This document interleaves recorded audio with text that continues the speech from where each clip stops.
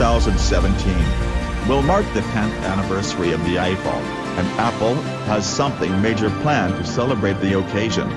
We're more than a year away from the launch of the iPhone 8, but because of Apple's ambitious plans for the device, there are already an abundance of rumors hinting at the impressive features coming in the 2017 iPhone.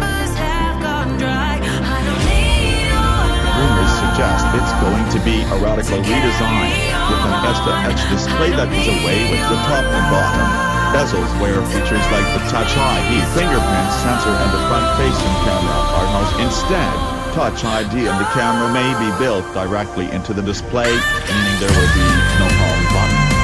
Ive has wanted to introduce an iPhone that looks like a single sheet of glass for several years, and 2017 may be the year that it's possible.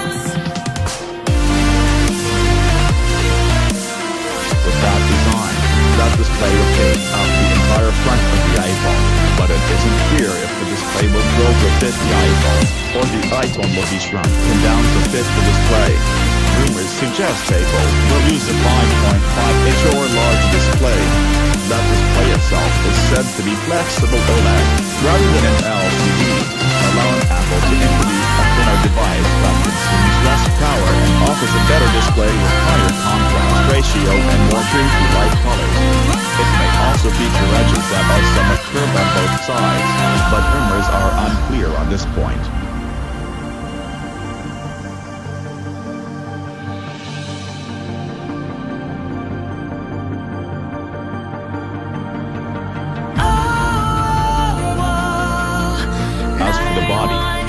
Rumors suggest Apple is finally going to move away from the aluminum using the iPhone 5, 5S, 6, 6S, and SE, instead adopting a glass body that's similar to the body that was used in the iPhone 4. At least one iPhone model coming in 2017 will use a glass body, according to Apple supplier Catcher Technology, and according to analyst Ming Chi Kuo the glass will be built around an aluminum or stainless steel frame.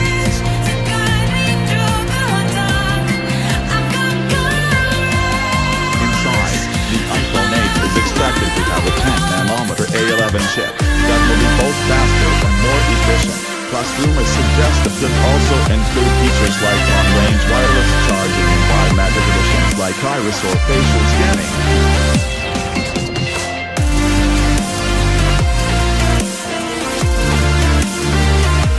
Apple is said to be planning to position the dual-curve OLED iPhone 8 as a premium model that will perhaps be sold alongside standard flat display 4.7 and 5.5-inch iPhone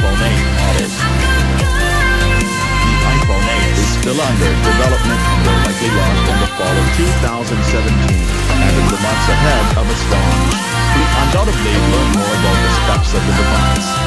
In 2016, Apple is expected to release the iPhone 7, a device with more modest design changes.